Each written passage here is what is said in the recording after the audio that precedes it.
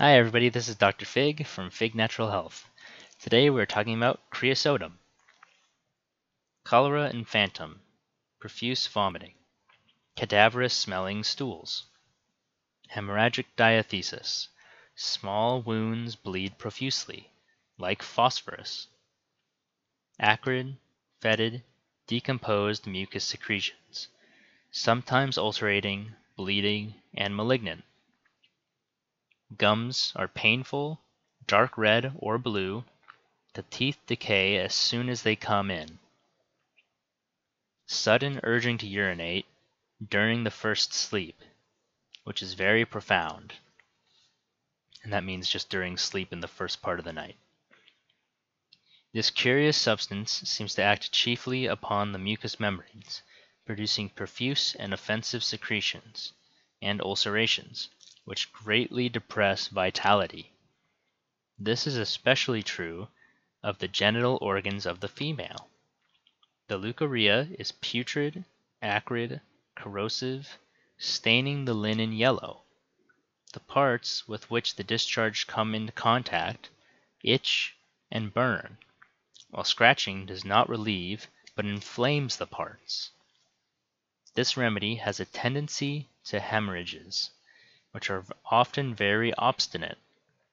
The hemorrhages occur with leukorrheal trouble, they are intermittent, will almost stop, then freshen up again and again. This is often the case with the lochia after confinement, when the choice may lie between these three remedies creosote, rhus and sulphur. The other symptoms must decide between them. This ulceration may be found in cancer of the uterus, and then creosote will often be of great value. I have no doubt that many cases which degenerate into cancer might be prevented by its timely use.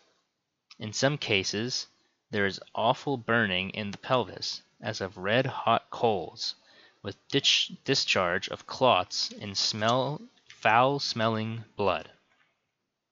I see that Guernsey recommends it in cancer of the mammae, saying it is hard, bluish red, and covered with scurvy protuberances. I have never so used it, but in corrosive leucorrheas and ulcerations I have with great satisfaction.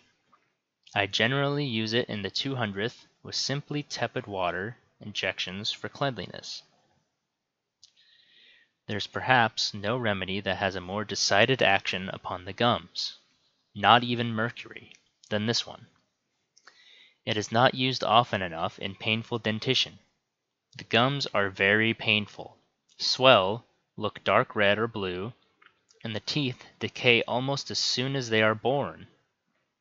A child that has a mouth full of decayed teeth with spongy, painful gums will find its best friend in creosote. Cholera infantum in such children is of common occurrence, and is of a very severe type, for the vomiting is incessant and the stools cadaverous smelling. Never forget creosote and cholera infantum, which seems to arise from painful dentition or in connection with it, for I have seen some of the finest effects ever witnessed from any remedy from this one. I have used it here also in the two hundredth. Creosote is also one of our best remedies in other kinds of vomiting, in the vomiting of pregnancy, and in that of other intractable diseases of the stomach, known as gastromalacia. I do not know any characteristic indications for it here, but should I find the troubles before mentioned in part or whole, such as corrosive leucorrhea, or the hemorrhages, or a general hemorrhagic tendency, small wounds inclined to bleed profusely, like lachesis and like phosphorus, I would feel confident of creosote. Creosote has strong characteristics in regard to urination. First, it has copious, pale urine. Second, they can't go quickly enough. The urging is so great or, su or sudden, like petroselinum. Third, the child wets the bed during the first sleep, which is very profound, and they can hardly wake it up from the sleep, like sepia. can only urinate while when lying down, like Zincum metallicum, which is only when sitting with the bent back, so not like Zincum metallicum. To, rec- to recapitulate, bad teeth and gums, quote, from way back, fetid corrosive discharges, great debility, and hemorrhagic tendency should always call to mind this remedy. Thank you everyone for listening, and you have a wonderful day.